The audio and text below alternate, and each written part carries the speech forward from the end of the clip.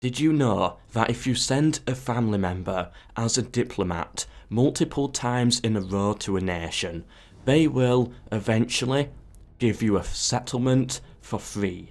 Of course, only for factions you have peace with, and only factions with multiple settlements. This actually happened to me in a Rome campaign that I played recently, which I certainly did not expect. After the Veneta expanded, I managed to get a free Patavium, as I was sending diplomat after diplomat to them. Also, if you have vassals, you are likely to receive a gift of money on a diplomatic mission, or other good stuff, but mostly money. I was actually able to farm around 25,000 gold in the early game just by sending diplomats not to mention all the other benefits you get through leveling up characters.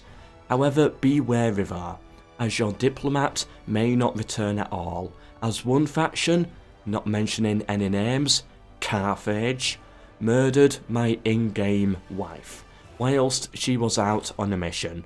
I got my revenge though.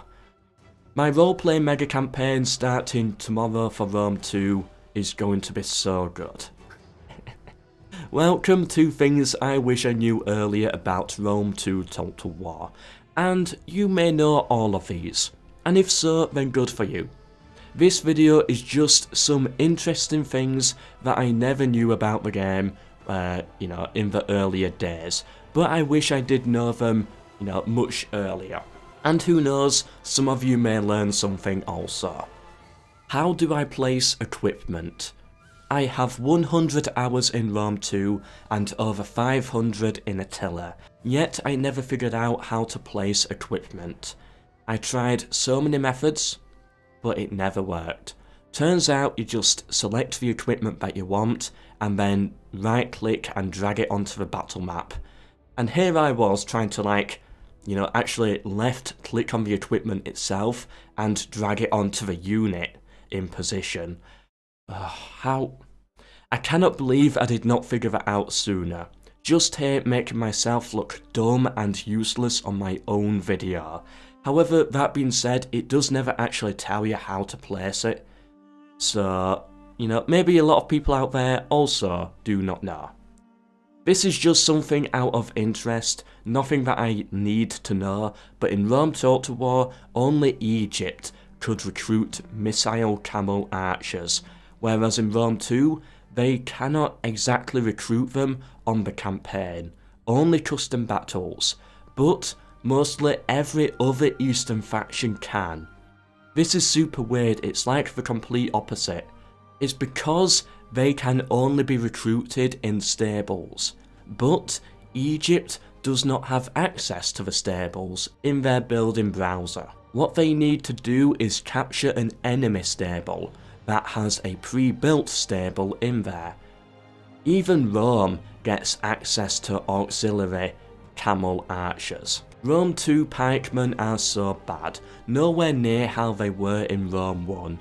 Well, there is a secret to making them better, and that is to click on the enemy unit that you are attacking multiple times over.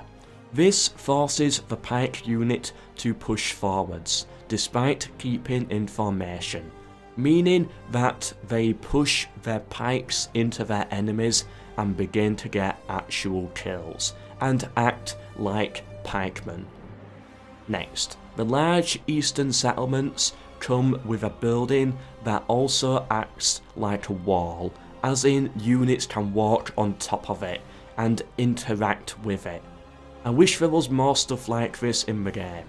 This is great, and I really could have done with knowing this for a few recent campaigns of mine.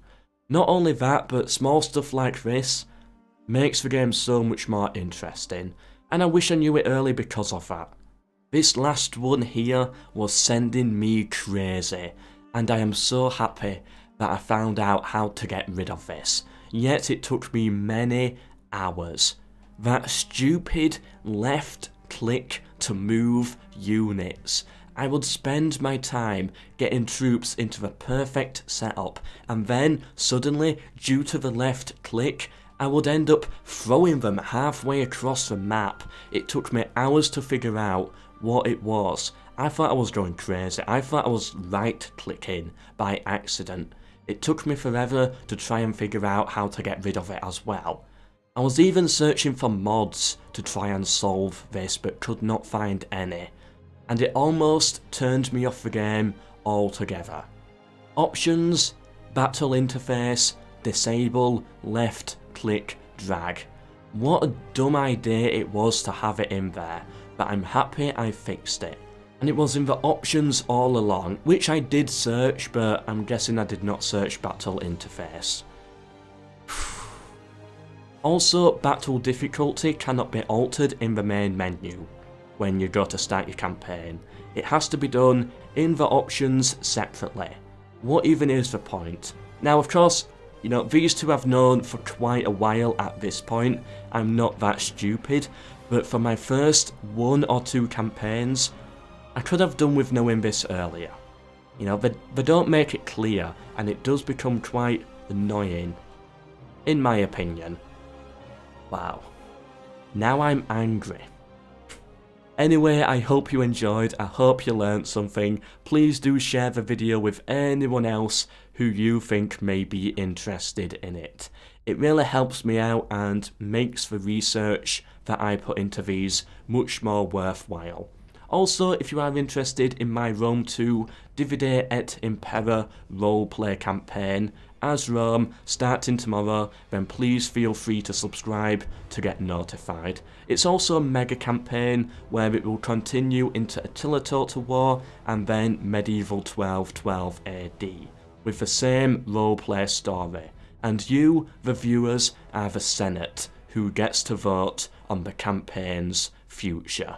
Anyway, I've been Melkor, and until the next one, goodbye.